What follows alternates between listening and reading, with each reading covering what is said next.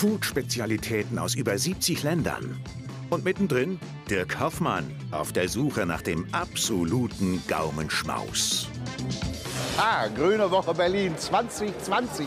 Die ganze Welt ist hier vertreten und eine Halle nach der anderen hat was Leckeres zu futtern. Und wer darf da nicht fehlen? Wer darf nicht fehlen? Der Hoffmann natürlich. Ich werde mich jetzt hier durchschnabulieren. Hoffmanns Weltreise startet in Portugal.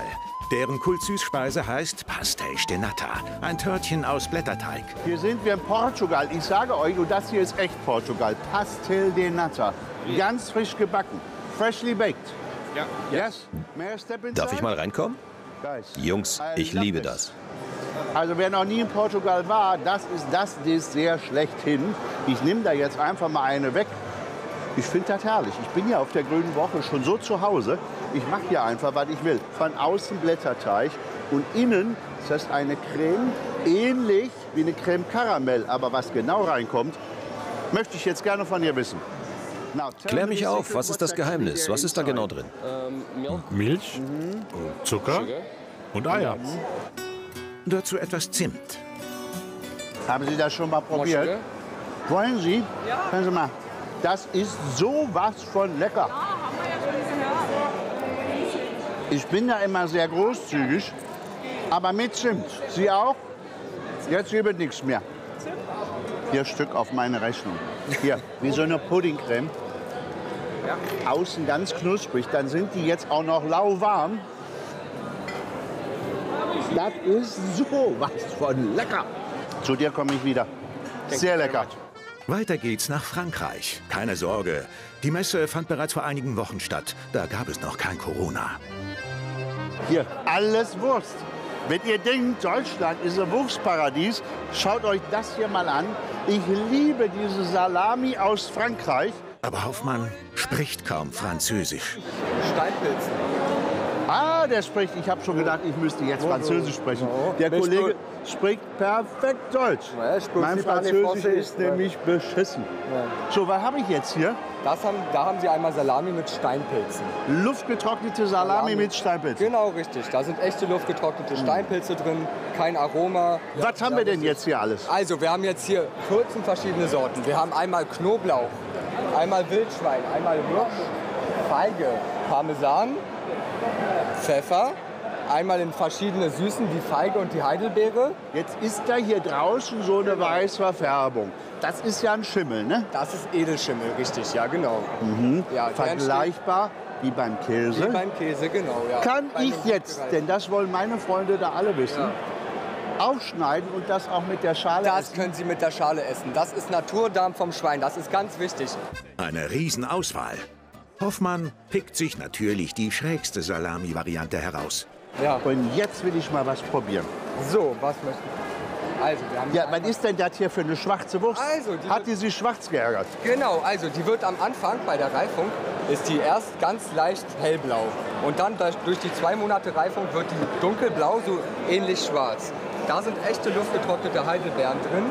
Ach, Gleich- durch die Heidelbeeren wird die so dunkel. Genau, die Heidelbeer, die wird da reingemacht, die wird klein gehäckselt am Anfang, dann in der ganz normalen Wurstverarbeitung mit reingemischt und dadurch, dadurch, dass sie dann zwei Monate zieht, entsteht dieser Farbstoff. Ja, ja, das ist Wahnsinn. Ah, geil. Dankeschön. Daumen hoch für Frankreich. In der nächsten Halle wartet der Inselstaat Sri Lanka auf Hoffmann. Und was gibt's hier? Das ist ja schick hier. Hör mal, da bauen die bei uns Foodtrucks, was riesig ist. Hör mal, die hat hier zu Hause aus ihrer Küche, hat die das Waschbecken abgebaut, den Ofen mitgenommen. Aber jetzt sag mir mal, wo du hier gerade das Öl heiß machst, wie ist denn jetzt deine Familie? Der Ofen ist doch weg. Was macht your Ihre family Familie jetzt? Die hat ja den Ofen aus der Küche geklaut. Ja, das sind die Röllchen aus Sri Lanka. Die bereitet sie gerade zu. Habe ich verstanden, du willst mir das jetzt nicht beantworten. Die Leute mögen das. Schmeckt sehr lecker. Die Teigtaschen gibt's in Sri Lanka an jeder Ecke. In süß oder herzhaft. Ist das Kokosnussöl? Kokosnuss, genau. Denn das müsst ihr wissen, aus Sri Lanka, das ist eine wunderschöne Insel, kommt der größte Teil vom Bio- und kaltgepressten Kokosnussöl. Und Kokosnussöl ist super, super gesund. Eine gesunde Schärfe ist auch typisch für die Inselküche. Ist die jetzt sehr scharf? Naja, ein bisschen, aber nur ein bisschen. Ich sage euch, meine lieben Kollegen aus der Küche, ich hatte einiges Sri Lankesen in meiner Küche. Wenn die gekocht haben, so, jetzt eins, zwei, drei. Und, Dirk, kommst du ins Schwitzen? Das ist überhaupt nicht scharf.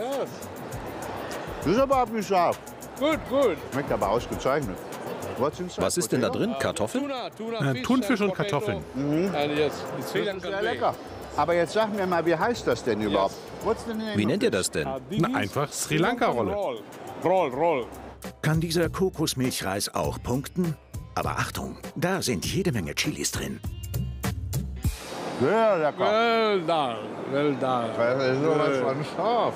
Nächster Halt Thailand. Hier gibt's was zu knabbern. Chips aus Reis. Ah. Hallo? Meine ich Güte. Doch. Sie kennen mich? Ja. Ich habe die auch wieder erkannt, aber bitte, die Kamera läuft, erzähl jetzt keine Details. Bitte nicht. Kriege ich zu Hause richtig Ärger. Jetzt was ganz Tolles. Ja. Es gab ja in Deutschland immer hier diese ganzen Kartoffelchips und hin und her. Und jetzt kommt ihr da aus dem wunderschönen Thailand. Genau, die Ja, und macht aus Sticky Rice ja. Snacks. Die bestehen aus thailändischem Klebereis. Jetzt habe ich erst mal eine Frage. genau Reischips, schön knackig. So ein bisschen, das kennen wir ja auch. Das haben wir ja auch, das nennen wir Puffreis. Ja. Aber ist das in Öl gebacken? Kurz mit Öl gebacken, weil der Reis erstmal getrocknet, ganz trocknen und wir brauchen erstmal kurz frittiert. Aber danach haben wir noch mal gebacken. Mit Genau. dem ganzen Öl, Öl raus. Unsere Chip ist zu vergleichen 30 30 weniger Fett als die anderen Chip auf dem Markt. Aha, das merke ich nämlich auch hier an den Fingern. Da ist überhaupt nichts ölig. Das ist schön knackig, das ist schön würzig. Und jetzt mal ein Tipp hier für alle meine Freundinnen und Freunde. Wenn man schön scharf ist, bleibt man dann, geht man ein Stück zurück bitte. So wunderbar schlank Genau. und wird dabei auch noch so wunderschön. Genau. Dann gib mir mal einen Karton davon mit. Chili macht glücklich. Kommt der Snack auch bei den Besuchern gut an? Also das sagt sie, das ist hier Deutschland scharf. Jörg scharf? Schön knusprig Ja? und ganz wenig Fett. Einmal bei. Runde 2 in Thailand. Diesmal was Fruchtiges. Was haben wir denn da? Freeze-dried. Gefriergetrocknet. Okay, und was haben wir hier? Ananas hier und einmal Kokosnuss. Okay, und das kommt aus, woher kommt es? Thailand. Thailand. Ja. Der absolute Trend, Früchte und ähnliches gefriert zu trocknen. Früher kannte man das nur vom Kaffee, aber eins kann ich euch sagen, das weiß ich sogar ganz sicher. Jetzt nimmt man es in den Mund, es bekommt Feuchtigkeit und, Au, Backe. Ob das schmeckt? und jetzt explodieren diese Ananasaromen in meinem Mund. Das ist leckerer wie eine echte Frucht. Ja, finde ich auch, ja. So geile Aromen, Ananas gehäckselt. Dann wird es gefriergetrocknet. Das kennen wir aus pulverisiertem Kaffee, Instant-Kaffee. Und das ist jetzt hier die Frucht.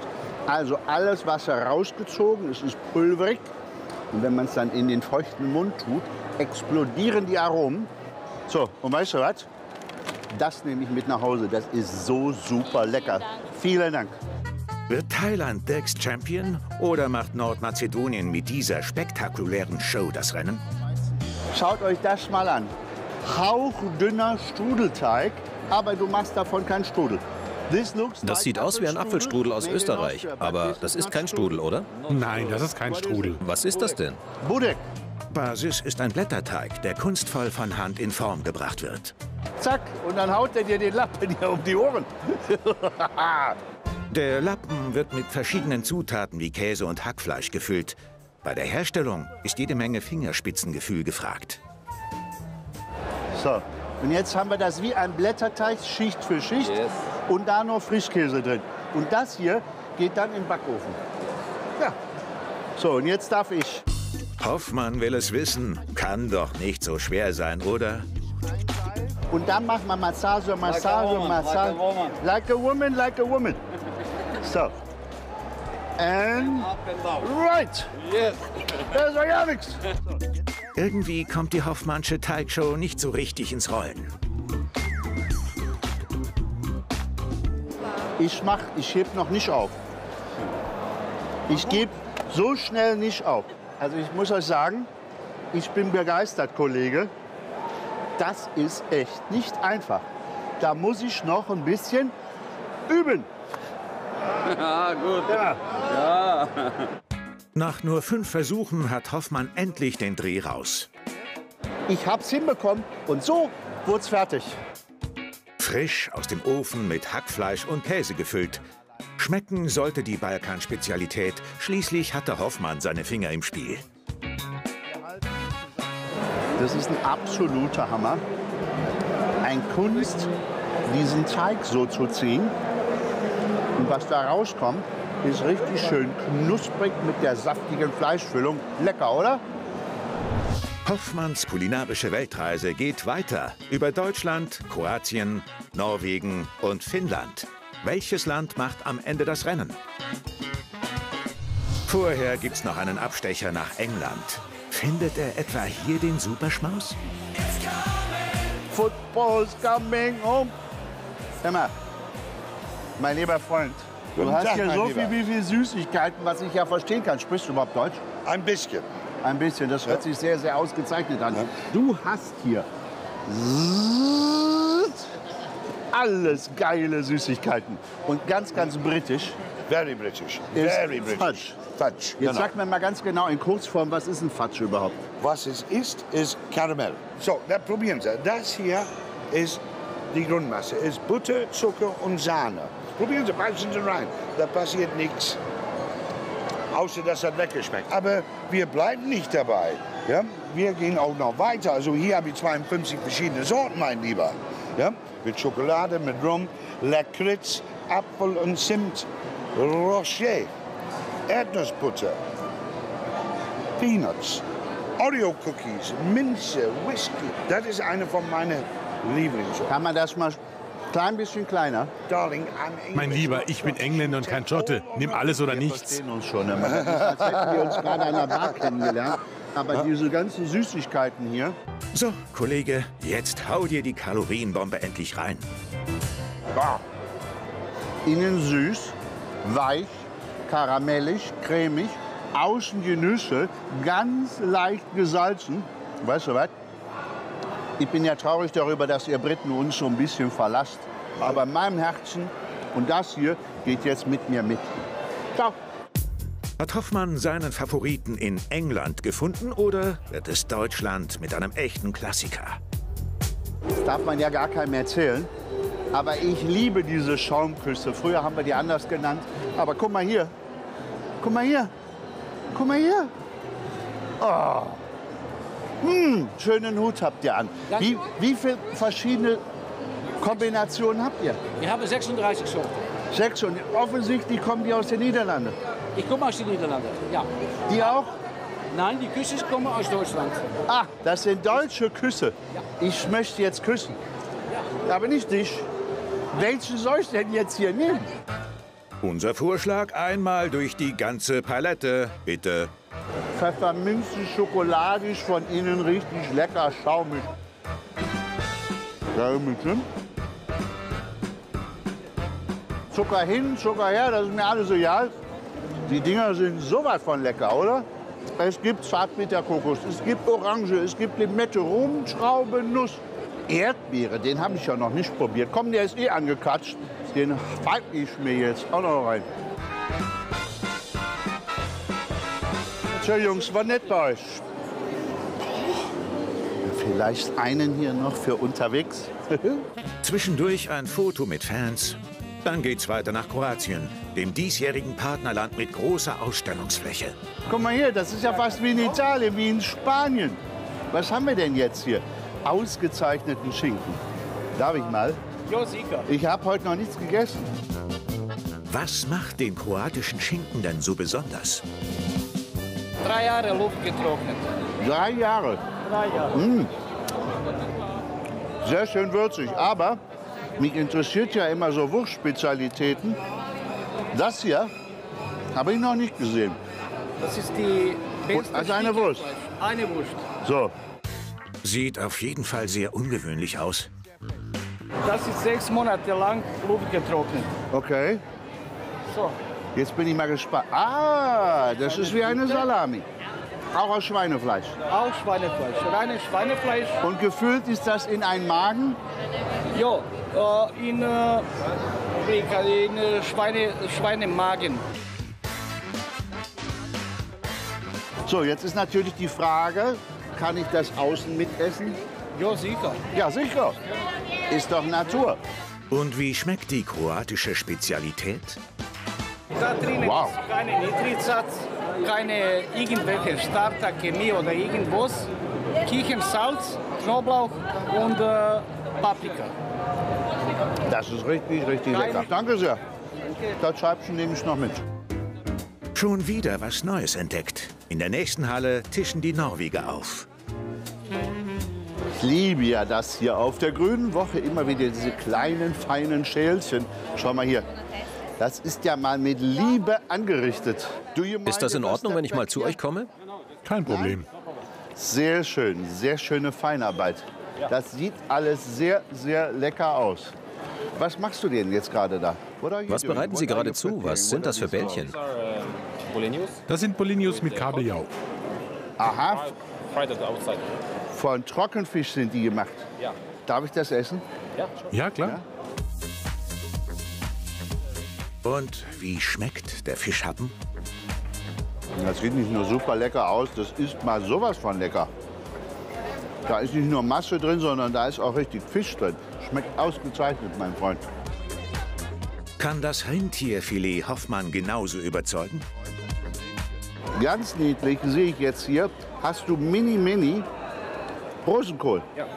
als Salat. Ja. Habe ich auch noch nie gegessen. Das ist ja der Hammer. Ja, Sehr, sehr lecker. yeah, that's uh, smoked reindeer. So, und jetzt geräuchertes Rentier. Ganz schön exotisch. Das kann man doch nicht essen. Das ist scheußlich. Nein. Nein, das schmeckt ausgezeichnet, hat ganz leichte Aromen vom, von Wild. Und ist dazu fettarm und sehr zart. Vielen Dank. Ciao, ciao. Auf Wiedersehen. Nebenan warten schon die Nachbarn aus Finnland. Aber statt Fisch gibt's hier Insekten. Hör mal, was haben wir denn jetzt hier? Karneval in Finnland? Hab ich noch nie von gehört. Hallo, Entschuldigung. Was macht ihr hier, Jungs? Habt ihr Karneval in Finnland? Ja, wir haben die Karneval die ganze Zeit. Die So, und deshalb sage ich mal hier Karneval in Finnland. Ja, Darauf ein dreifach schmetterndes Düsseldorf. Hello! Allah! So, Das sind äh, Grillen. Grillen. Kleine Heuschrecken. Kleine Heuschrecken. Ja. das ist auch gut so. Die fressen nämlich sonst die ganze Ernte Ja, weg. da haben wir 17 verschiedene Würze. Und da haben wir äh, scharfes Geschmack. So, die Flügel sind weg, die Beine sind weg. Äh, die Beine sind eigentlich da unten. Die fallen Okay, da machen wir uns nachher noch eine Suppe von. Ja. Und man kann sie malen. Darf ich jetzt mal? Ja, darf, Sie dürfen doch. Guten Hunger, Herr Hoffmann. Die sind ganz knackig, die sind wunderbar gewürzt. Jetzt? Schön knackig. Aber die werden ja nicht in der Natur da irgendwo geholt, sondern die werden gezüchtet. Die werden gezüchtet. Und ihr würzt und bereitet die dann so zu. Ja. Das ist geil. Finden die Besucher die Dinge auch so geil wie der Hoffmann? Ah, du wolltest es schon immer. Komm, auf dich habe ich gewartet. Guck mal hier. Guck mal. Die Flügel sind schon abgefallen, die Beine sind auch weg. Mach mal Händchen auf. Okay, danke. Und jetzt ab ins München.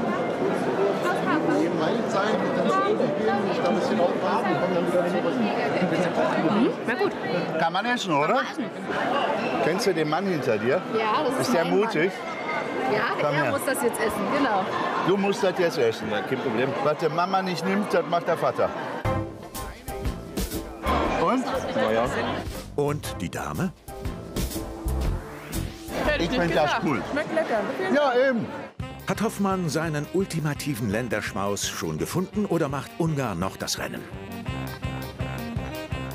Ah, hallo. Da. Hör mal, grüne Woche ohne dich ist doch gar nichts. Was das Na, soll ich meine ein helfen? Ich möchte dir helfen. Bei Maria Magdalena gibt's Baumstriezel. Und du machst das mit Liebe. Mit Liebe gefüllt. Immer noch. Mit Liebe gefüllt. Herrlich. Grundlage für das Gebäck ist ein Hefeteig. Noch dünner? Ja, ja, ich pfeffer dich. Da, da, da, da, da, di. Aber das mit, mit, ja. Ja, mit Herz. Den Teig in schmale Streifen schneiden. Du vertraust mir nicht, ne? unsere Teig, kannst du? Aha. Und ihn dann vorsichtig um eine Art Nudelholz wickeln.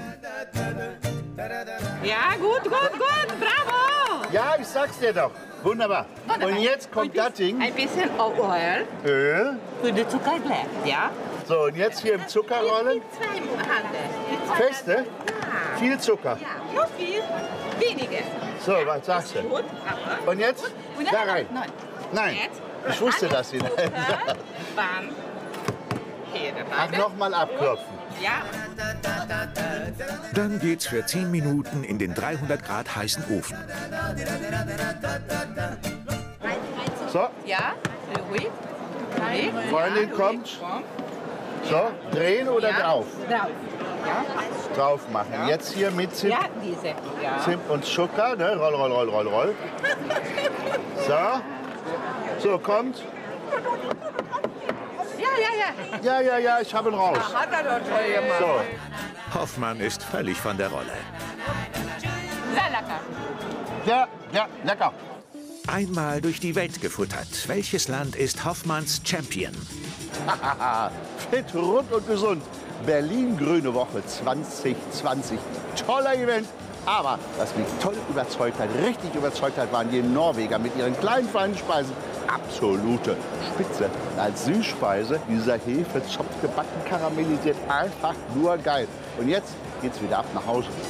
Und tschüss, man sieht sich.